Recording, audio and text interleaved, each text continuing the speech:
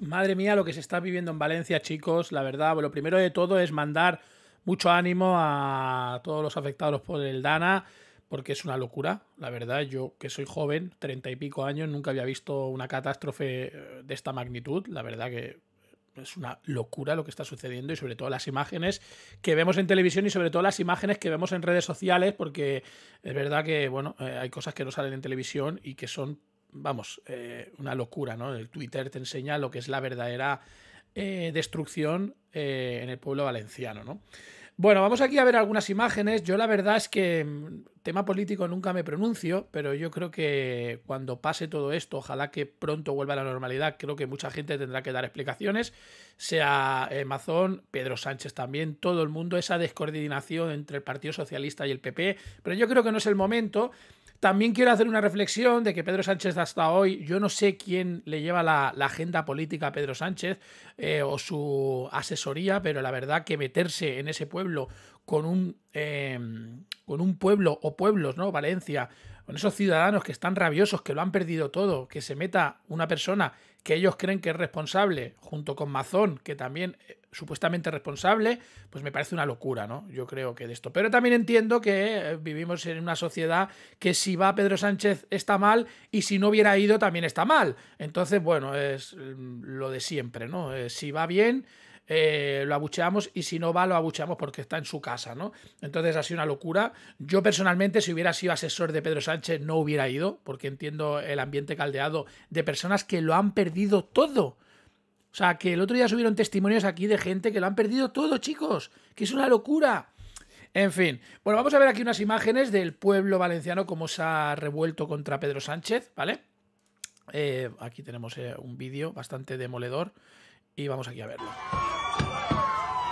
Varios vecinos golpean el... Este es el, el, coche de Pedro Sánchez, ¿no? Que cuando ha entrado junto con el rey y con Mazón ha tenido que salir corriendo literal porque si no podía pasar una desgracia de un pueblo que está indignado con la gente que nos gobierna y que han pagado todo contra Pedro Sánchez y Pedro Sánchez ha tenido que salir corriendo.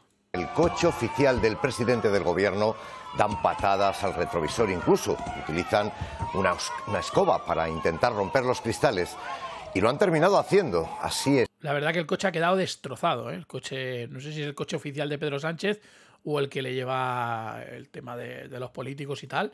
Estaba el vehículo de Pedro Sánchez cuando abandonaba Paiporta. Todas las ventanillas. Fijaos el coche cómo está, ¿eh? Fijaos el coche cómo ha acabado el coche de Pedro Sánchez, ¿eh? Después de salir de Paiporta.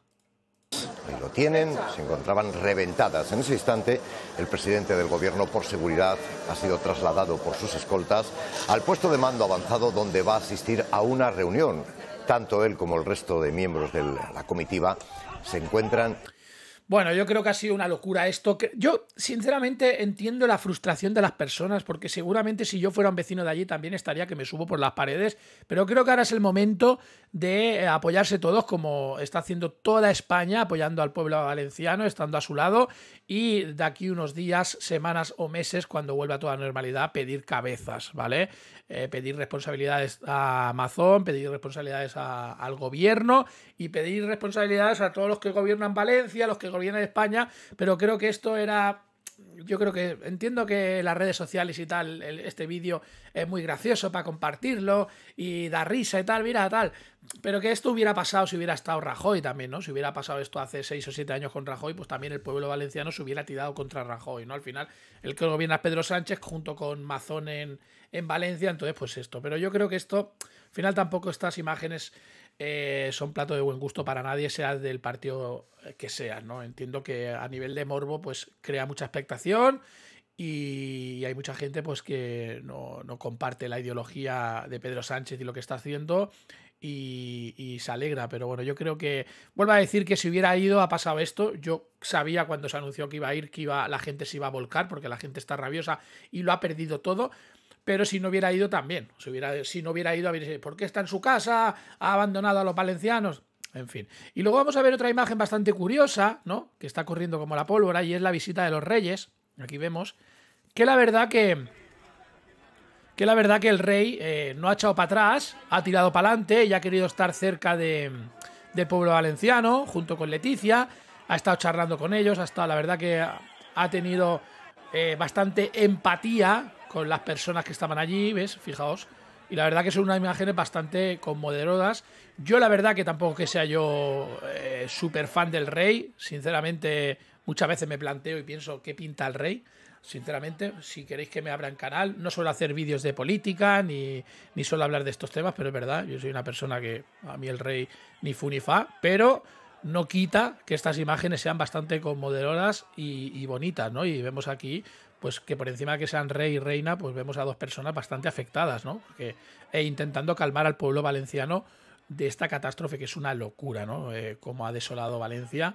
Y fijaos aquí, eh, no sé, a mí la verdad que son imágenes que me parecen bastante bonitas y, que no me esperaba, ¿sabes? Porque al final lo de lo típico, ¿no? Van para echarse la foto con el barro y se vuelven otra vez a su casita. Y la verdad que vemos al rey bastante manchado y hablando con el pueblo y empatizando bastante, ¿no? En fin, bueno, pues quería traeros un pequeño resumen de lo que ha pasado hoy. Eh, ya esta semana, esta semana ya he hecho bastante vídeos. Estuvimos haciendo un vídeo especial el martes eh, con un space sobre afectados del Dana. Luego, eh, días posteriores, estuvimos hablando del tema junto con Amparo, que Amparo es una de las personas que estaba en la zona cero y la sufrió bastante. Y yo creo que con este final de los Reyes y Pedro Sánchez, creo que ya Creo que ya está bien el tema. Quería subir este vídeo porque me parece bastante llamativo y vemos cómo está la situación, eh, pero ya está. Yo creo que ya esta noche tengo que volver a los directos eh, e intentar que la gente de Valencia, porque me ha escrito bastante gente de Valencia, que ya empiezan a recuperar luz y tal, eh, intentar que este mal sueño pase lo más rápido posible y yo intentar volver a mis directos para intentar hacer reír o por lo menos la gente que está pasando esa desgracia, que están otra vez ahora reconstruyendo su vida, intentar esa hora y media, dos horas que dura el directo que... Eh, puedan un poco olvidarse de lo que están viviendo, ¿no? Por eso quiero volver esta noche y quiero ya volver a partir de la semana que viene con los directos, intentar entretener a la gente y sobre todo que se olviden de los problemas, ¿no? En fin, chicos, nada, os dejo por aquí algunos vídeos, tenéis el, el botón de suscripción, darle un buen like y suscribiros. Nos vemos y gracias por estar siempre ahí y mucho ánimo a todos los afectados. Os quiero y poco más que decir.